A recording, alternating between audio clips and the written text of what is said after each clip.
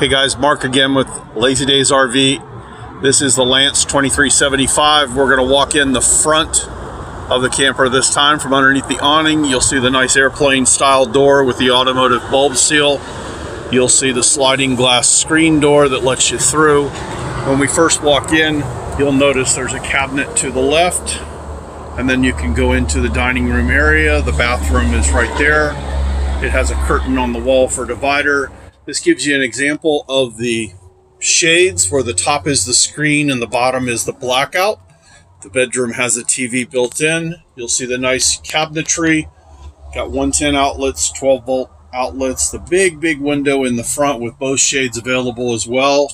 Nice LED lighting. More shades here. And then you can go outside from the bedroom. And when we come back in, we walk into the kitchen area. This is video number three. I'm going to see these on